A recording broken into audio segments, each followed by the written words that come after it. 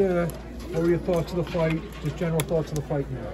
Um, going into the fight, I knew I was going to be up against um, a, a fighter who weighed more than me, actually bigger. She's a natural flyweight, so um, started off a little slow and then picked up my game plan by listening to my corner. And um, I um, been having a problem with my finger, so I think I might have like fractured my finger like early in the fight. So kind of kind of stopped me from throwing my right hand as often as I wanted to. Could you tell us about your decision to switch from orthodox to southpaw and back to orthodox, Seniesa? Um, yeah, that's just something that has always been part of my style since I was a kid, since I was eight years old when I first started boxing. Um, switch hitting has just kind of kind of been my thing.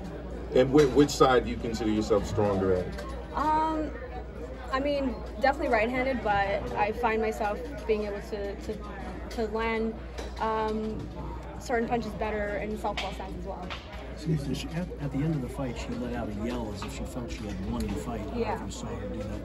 Uh, what did you think going to the cards? I mean, did you thought did you think you decisively won? Did you think it was close? Yeah, going, going to the cards, I knew that, that that I was ahead. I mean, my one thing about my corner, they're definitely not going to lie to me. When I came back in the second round, they were like, "You lost that round," so I didn't do enough in that round. Um, so yeah, I definitely trust my corner when they tell me that if I'm ahead or not. So I, knew- I knew I was. I knew clearly. She wa she was able to connect with left hooks early on. What, what adjustments did Junior Corner make to not have you get hit so often with left hooks? Yeah, she um, is a boxer. She moves. Um, she the times that she does try to come forward, she kind of jumps in with those wide punches, like you said. Sorry. Um, so you kind of, I kind of had to make an adjustment by by staying close to her in the inside and staying down. That way, her wild shots go over my head. So that's one of the adjustments that we made towards um, the middle end of the fight. How difficult was it? How convinced are you? Convinced of, of what? The decision. Um, oh yeah, I, I mean, I thought I won the fight, definitely. Yeah. What what worked best for you, Samantha? What worked best for me was um, when I made the adjustment to stay close to her on the inside because she wants me to stay. She wanted me to stay on the outside to have a bit of a distance so she can leap in with those wild long shots that she throws. So um, because I kind of couldn't really use my right hand the way I wanted to, I was kind of hesitant to go in because our game plan that we're working on during training camp was to lead with the right hand or um, throw more of a of, throw more overhand rights, throw more hooks to the body with the right hand. Um, so it kind of took me a bit to. I kind of had to adjust that because I, I was like, okay, I can't really use my right hand the way I want to, so I kind of had to get in the inside by just um, covering up at times and just staying low and encountering. Stylistically, was she one of your most difficult opponents, and how would you rank her amongst the many opponents that you faced? Um, stylistically, I think. Um, I mean, she's a natural flyweight, so that was definitely something that made it difficult because she um, was going to go in there as the bigger, heavier fighter, and I already, I already knew that going into the fight. And um, yeah, it's it's uh, difficult to fight somebody who kind of just leaps in with wild shots like that. You have to have good timing, and you have to make sure that you don't get caught on the way in or on the way out with certain shots. Um, which, of course, I, I did get hit with certain shots like that. But then, when my trainer kept reminding me to make those adjustments, make sure you stay low on the inside. That way, your shots go over your head. How different would a fight with Valle look? Do you think?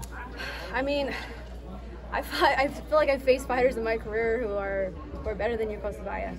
Um, she's just very basic, slow feet, um, no footwork. I mean, I, it's the fight I've been wanting. I, I, I just want the undisputed fight to happen already. Now, now, now that you now, oh, sorry. Do I think You think Yudica is better than Um, well, it's different different styles because Yudica is more of a boxer mover. Yokasta kind of just stays in one spot and also and comes forward. now that you've got a little acquainted with her in the ring tonight, how excited and are you for that uh, unification or that or undisputed title? And you feel now that you know the undisputed title is now in reach. Yeah, I hope so. I mean, hopefully, her being here is a step forward to making the fight happen. Um, you know, this is we this is the date that we offered her to to fight um, for the undisputed fight, but they couldn't make it happen. Whether it was her and her team and Golden Boy Promotions, whoever, they just um, didn't make it happen for this fight. So hopefully, we can get that going next. She mentioned about going to her Yeah. backyard. Would you go? Would you be willing to do that? I'm not going to Costa Rica. She makes she makes chump change in Costa Rica. If she wants to make good money, she can come here and fight me. The offer that we made to her in the first place was was very good. So, um, yeah, there's no reason for me to go there. Um, she can come here. How confident are you that that fight could realistically be next uh, compared to like after the Rubric fight?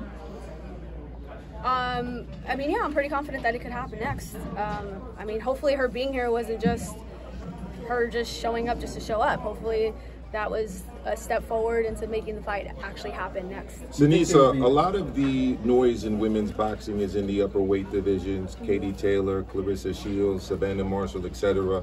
We've seen what Inoue's been able to do as a lower weight fighter in men's boxing. Yeah. The pathway to his success has been through undisputed. Is is that what you're chasing as well?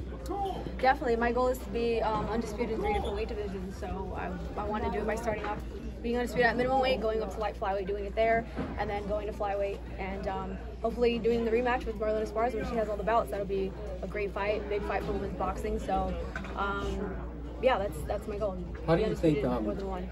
working with Oscar and Golden Boy before and trying to make the fights, you know, on the other side, does that become difficult, or have you guys already, you know, just because you know your relationship there? Yeah, I mean, of course, that's played a part. It's, it's business, um, and I think I think Golden Boy Promotions, they, they know what's gonna happen when I face Yokasta Valle. They, they know they know who's a better fighter skillfully. There's there's levels to this, and, and I'm definitely on another level than Yokasta Valle. Do you think there's any type of bitterness because they did promote you, they build you up, they know what you now? It's like, why should we help you reach your goal if it's over here at top rank opposed to Golden Oh, of course, that's definitely that's definitely a part of it. But I'm confident that Top Rank will, will work through that, um, work through that the business part of it, and, and make it happen. Happy with Top Rank, and how does the experience compare to your experience with Golden Boy? Um, everything's been been great with Top Rank. I'm, I'm just grateful that they believe in me and they're giving me this opportunity and platform to, to headline and to just go after all the fights that I want. What would you rate this performance?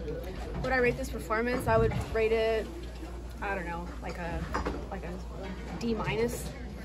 I knew you were gonna. Be, I knew you were gonna be hard on yourself. I'm always hard on myself, but yeah, I mean, you, you sometimes you got you got to fight through injuries, and you know, I, I, I try to listen to my corner as much as possible, that without them knowing the, the pain that I was going through with my um, with my right hand. So. Did you know that Valle was going to be here today, or was that a surprise? Um, I didn't know that she was going to be here. Yes, yes. Um, so I mean, it, it's a good thing. Hopefully, it, it, it leads to the fight happening. What was the finger a camp injury that happened during the fight? Ah, man, it, it, it happened many fights ago, and it's kind of an injury that I I deal with during training camp here and there. Um, but it's not as bad as tonight. How, how long are you? How long are you willing to wait for the Valle fight to happen before you make your decision to move on to a different op- opportunity? Um, I'll I'll speak to, to Top Rank in, in a couple of weeks and see what they have planned as far as like as far as the, the next date for me and and um, hopefully Yokasta is everything works out. Looks like it's going smoothly with accepting the offer. Um, but if we can't make that happen, um, they know that I just want to. I don't want to wait around for Marat. I, I want to move on and I want to go to light flyweight and hopefully fight um, the winner of Kim Clavel and Jessica Plata, um, and just I guess go, move up, become unified champion there, and then hopefully when Yokasta's ready, I'll go back down and I'll fight her. I don't, I don't know, but do you think the injury for your hand, uh, in your hand, is it going to require surgery? Is it just something you need to rest for a long time, or? Um, it could just be a, a small a, s- a fracture that just needs to be. I just need to be. Um, I just it just needs some rest. Def- Could, I think so. could delay your return to the ring a little Um, bit you might need more rest, or? Um, I don't. I don't think so. I'll, I'll when I get back home, I'll, I'll take an ex, get an X-ray on Monday and see. But um, I don't think it'll be anything that'll keep that ring for long. Thank you guys. Awesome. Thank you, Thank you, guys. Thank you, Thank you, Thank you so much, guys.